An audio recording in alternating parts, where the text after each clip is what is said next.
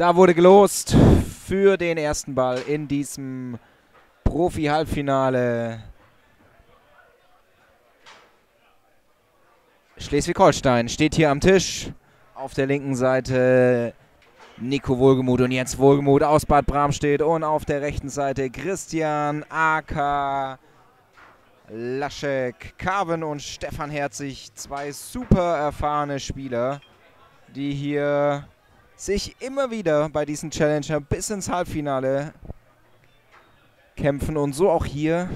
Und bin gespannt, wie das hier ausgeht, denn beide Teams heute sehr gut aufgelegt, haben guten Eindruck gemacht. Nico, der erste Schuss hier wird gehalten von Stefan Herzig. Das ist auch ein interessantes Duell. Jetzt schießt dann rein. Interessantes Duell. Nico Wohlgemuth gerade mal 14. Junior-Nationalspieler. Technisch unglaublich begabt. Und Stefan Herzig auch nicht von schlechten Eltern unglaublich viel Ballgefühl und Spielerfahrung. 1 zu 0 Führung hier für Wohlgemut, Wohlgemut. Jens nimmt hier das Tempo raus, legt ihn hier in die Mitte. Zweiter Versuch beim Rausspiel, dann kommt der Kurbler aufs Tor.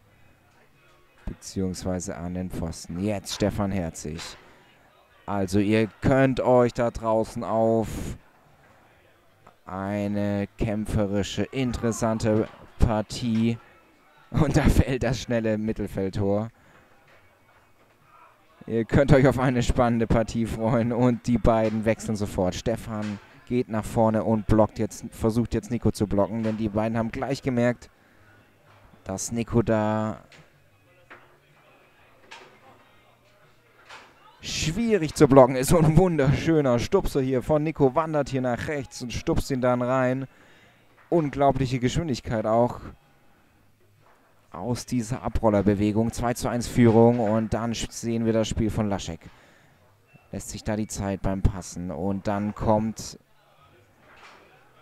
irgendwann mal der clevere Schuss. Hat unglaublich gutes Timing und kommt da dreiviertel durch. 2 zu 2 und die beiden tauschen sofort wieder. Haben sich wohl so wohler gefühlt. Und Stefan weiß natürlich auch, wie man blockt als Torwart. Das war jetzt erfolgreich. 2 zu 2 und Ballbesitz. Stefan setzt zum Schuss an, nimmt dann aber das Timeout. Also gleich schon gute Anspannung hier in diesem ersten Halbfinale im Profifeld. Das zweite Halbfinale könnt ihr dann da draußen gleich auch hier an Tisch 1 und mit uns genießen. Da spielt dann die andere Fraktion Min Jung Bai und Björn Grutzki gegen Semin Mensa und Wieland Alt. Laschek verschießt hier immer noch 2 zu 2. Jetzt wieder Jens Wohlgemuth. Glücklich auf das Mittelfeld von Nico. Starke Performance hier auf der 5. Bisher jeden Ball durchgepasst. Ne, eben wurde eine geblockt von Stefan und dann dieser explosive Schuss nach rechts. Also er bewegt da, er schießt da aus dem laufenden Ball, aus der Bewegung. Und das sieht echt sehr gut aus. Bisher auch verschiedene Optionen gezeigt. Stefan kommt hier raus, aber Jens kann ihn fangen. Wieder Ballbesitz bei Jens und Nico. Und die 3 zu 2 Führung hier im ersten Satz.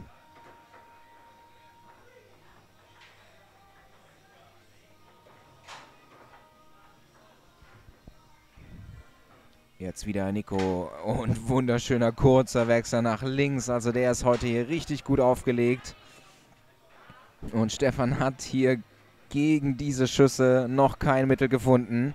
Bleibt hinten Nico mit der nächsten Chance da vorne und dann geht er nach links lang. Also alles gezeigt in diesem ersten Satz. Alles 100% ausgeführt. Unglaubliche Performance hier auf Tisch 1. Und Stefan Herzig wie schon angesprochen, der ist hier kein unbeschriebenes Platz. Schon lange dabei, früher viele Turniere gespielt, immer noch in der Hamburger Liga aktiv und mit Laschek bei den letzten Hamburger Challenger auch sehr erfolgreich. Spiel geht gerade mal 4 Minuten 5 zu 2. Haben sie den ersten Satz gewonnen. Jetzt greift Jens hier noch ins Spielgeschehen ein. 1-0 Führung im zweiten. Und wieder fast Ballverlust, aber doch, Laschek kann ihn greifen. Jetzt muss er hier effektiv bleiben da vorne. Interessante Deckung, aber geht dann doch irgendwie schräg rein. Stefan und Laschek wechseln wieder sofort.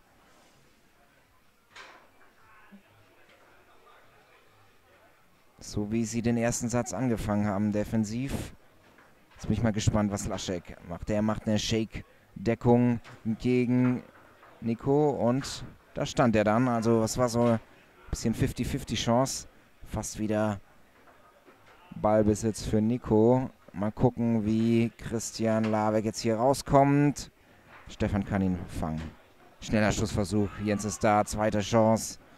Also jetzt nimmt das Spiel wieder eine ganz andere Fahrt auf. Stefan Herzig bleibt jetzt da vorne oder nimmt er doch das Timeout? Nochmal neue Ballauflage, dann das Timeout. 1 zu 1 hier im zweiten Satz.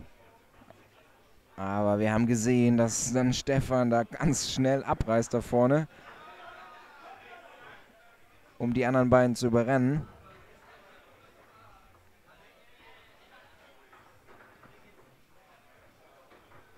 Und Laschek geht wieder nach vorne, rechts lang Auflage und dann kommt die Explosion, 2 zu 1 Führung und wieder die Defensivaufstellung. Stefan nach vorne. Laschek nach hinten, schöner Kannenpass von Nico, jetzt bin ich gespannt. Findet er diesmal ein Mittel hier gegen Laschek, gegen diese schnelle Deckung und dann kommt dieser krasse rechts Langschuss, Alter. 2-2.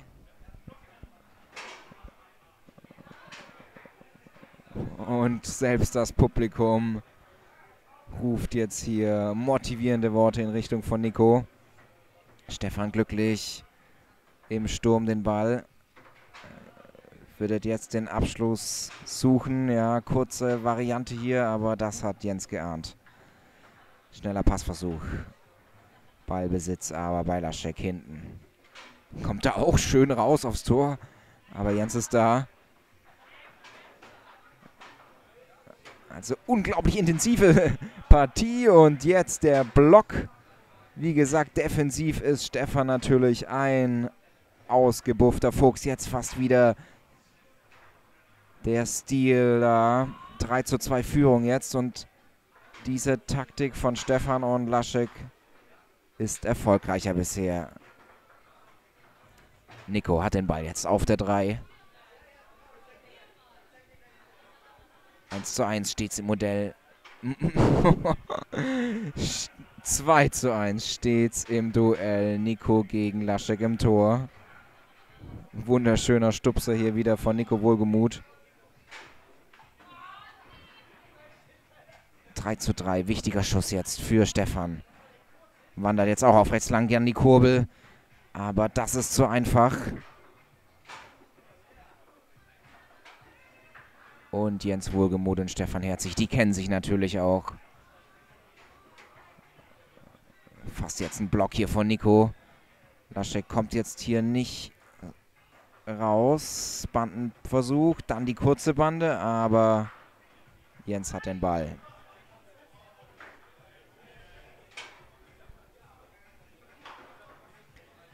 Ganz heikle Phase jetzt hier an Tisch 1. 3 zu 3 im zweiten Satz. Und wunderschöne Bande von Jens Wohlgemuth. Die kommt da ganz steil wieder ra raus. Von der Bande der Ball. 4 zu 3 Führung. Jetzt Laschek vorne. Wieder der abgestoppte Pass ins Feld. Dann rechts lang und schnell abgerissen. 4 zu 4. Jetzt bin ich gespannt. Ausgleich oder 2-0-Führung. Jens Nico Wohlgemuth hat den Ball auf der 5, wird geblockt, zweite Chance. Stefan hatte ihn da zweimal, jetzt auch wieder und hat den Ball. Also das ist defensiv das Mittel gegen Nico Wohlgemuth und Jens Wohlgemuth. Stefan ist da erfolgreicher auf der 5. nimmt direkt das Timeout, geht vom Tisch. Christian geht nach vorne, also die beiden sind hochkonzentriert. Aber Nico und Jens machen auch noch einen sehr entspannten, ruhigen Eindruck. Nico jetzt schnelle Bewegung da auf der 5. Und Lasche kommt dann doch irgendwie durch und dann findet er wieder den langen. Also ich habe es angesprochen, er hat ein unglaublich gutes Gefühl, Timing für die Situation und die Entscheidung. 1 zu 1 jetzt Setzen, alles wieder offen.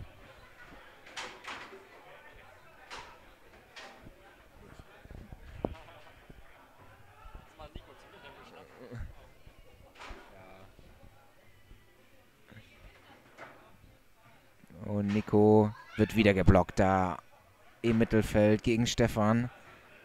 Stefan ahnt jetzt, wo Nico da durchspielen will.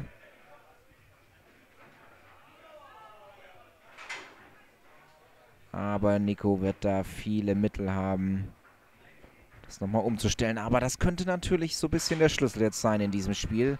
Und Stefan blockt jetzt, setzt zum Chat an und wird wohl auch schießen. Und wenn er den trifft und den trifft er rechts, dann können die beiden so stehen bleiben. 1 zu 0 Führung. Also ganz interessante Strategie und Taktik hier von Stefan Herzig und Christian Carven. Jetzt Nico gegen Christian. Verschießt. Und Nico hat es jetzt doppelt schwer hier. Und 2 zu 0, schnelles Tor von hinten. Und das wirkt auch ein bisschen zermürbend. Bin ich gespannt, ob jetzt Nico und Jens da zurückkommen.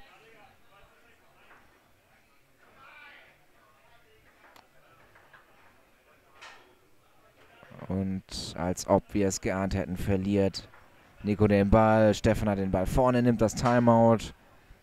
Also Spieß umgedreht. Unglaublicher erster Satz von Nico und Jens Wohlgemuth. 5 zu 2 gewonnen. Und dann kommt diese Strategie von Stefan Herzig und Christian Laschek. Mit dem vielen Wechseln, dem Ausprobieren, wie die Position am besten ist in der Defensive. Und das probieren jetzt Nico und Jens auch. Nico geht nach hinten und gehalten. Stefan jetzt wieder hinten. Auf Schieberposition, lässt den Ball in die Mitte rollen und dann geht der Ball dann doch irgendwie wieder rein. Wird da geblockt und das ist die schnelle 13-0-Führung in diesem dritten Satz. Jetzt starke Performance von Nico hier. Muss jetzt wieder hier ins Spiel kommen. Wird gehalten, aber rechts. Jetzt ist mir, schießt er nicht mehr ganz so mutig.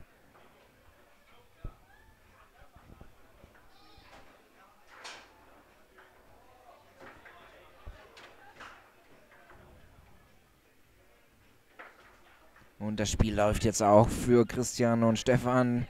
Viele Bälle können sie fangen, die da herumfliegen. Und nutzen auch ihre Timeouts. Zweites Timeout jetzt in diesem Satz. Stefan schickt Christian wieder nach vorne. Jens schickt Nico wieder nach hinten. Und das Duell heißt wieder Christian gegen Nico. Timing, Rechtsauflage Und dann geht der Ball da irgendwie wieder schräg durch die Figuren 4 zu 0. Jens und Nico bleiben jetzt so, denken sich entweder geben sie den Satz eben ab und dann geht es im nächsten Satz weiter oder Jens schießt da mal rein, verliert aber hier auch den Ball. Die beiden bräuchten jetzt nochmal hier so einen kleinen Pusher, um in das Spiel zurückzukommen. Oder sie haken den Satz ganz schnell ab. Jetzt ein Erfolgserlebnis von Nico. Stefan hat den Ball jetzt hinten. Und Jens. Jens mit Chat und da geht der lange 4 zu 1 Anschlusstreffer. Vielleicht geht da ja noch was.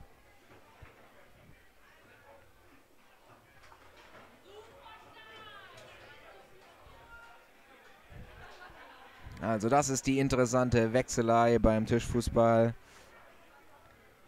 Da wechseln Stefan und Laschek so oft hin und her, bis sie defensiv erfolgreich sind und bis dann der Gegner auch wechselt.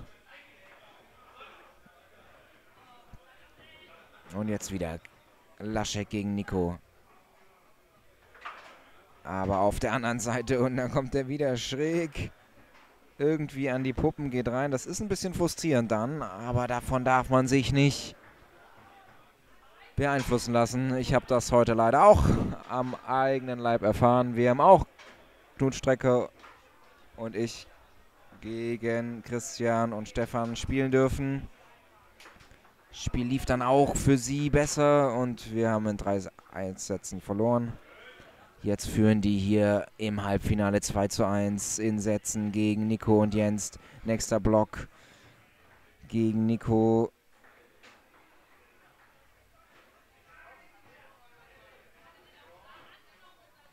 Aber Nico kämpft jetzt. Schöne Verteidigung, holt sich da wieder den Ball. Und kriegt ihn nach vorne. Jetzt mit rechts lang. Kurbel springt übers ganze Feld. Aber immer noch 0 zu 0. Jetzt Jens Wohlgemuth.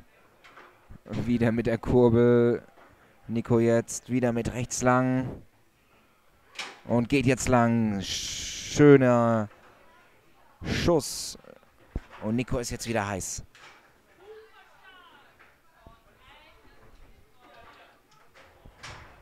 Ball springt übers Feld und Stefan kann ihn greifen. Und dann fasst sich Stefan auch mal ein Herz. Unglaubliches Ding hier. Hat man gar nicht erwartet, dass er da so lange einen einfach mal schnell abreißt. 1 zu 1. Ist natürlich auch ein All-In dann jetzt. Wenn sie den Satz holen, haben sie das Spiel gewonnen. Wenn nicht, haben sie noch einen Satz.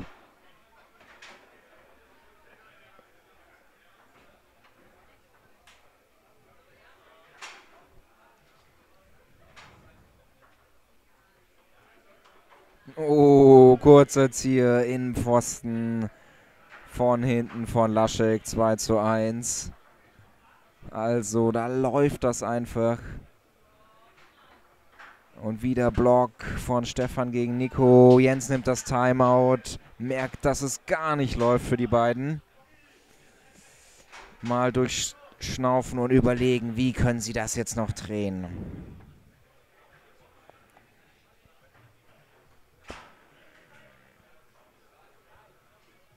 Ist aber auch ein harter Brocken hier.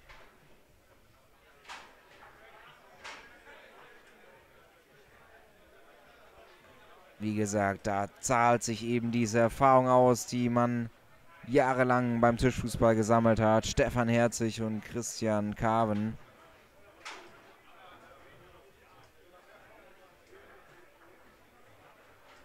Und Nico geht nach hinten jetzt auch mit Zier. Den kann er auch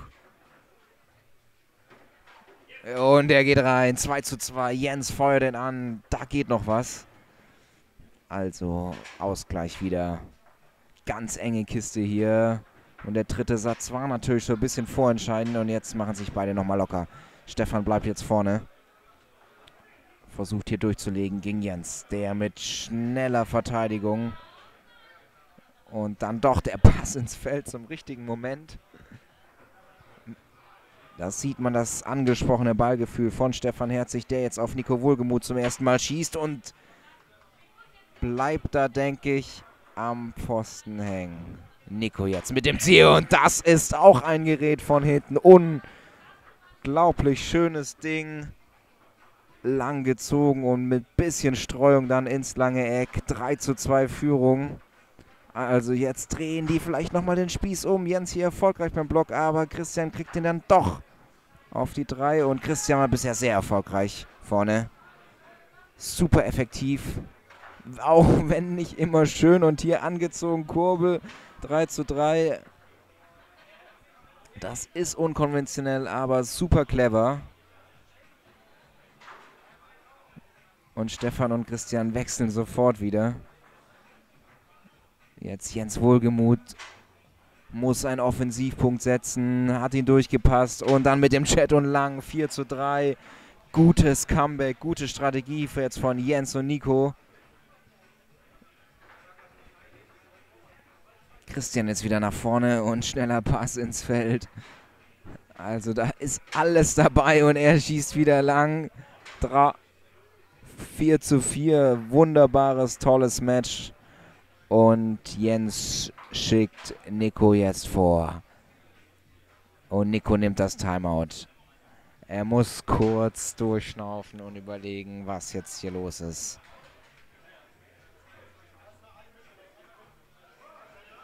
Also das Spiel ist echt super ausgeglichen.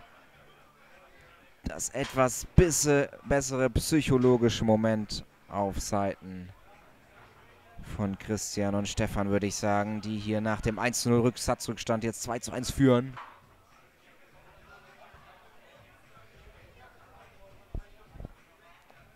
Aber jetzt kann Nico natürlich sich nochmal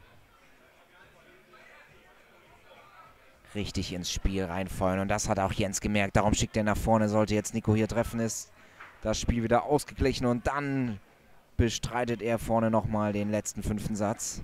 Lässt sich jetzt viel Zeit hier gegen Stefan. Dann Kantenpass. Zweite Chance. Bleibt an der Figur hängen der Ball und Christian hat den Ball. Bleibt da tot in der Mitte liegen, der Ball. Das heißt, Nico bekommt wieder den Ball auf die 5. Also es geht wieder los. Muss ihn jetzt einmal erfolgreich da durchlegen. Bandenpass geblockt.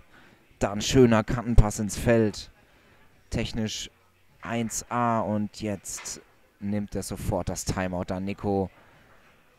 Also schöpft jetzt nochmal hier seine zwei Timeouts aus und berät sich mit Jens, wer soll schießen.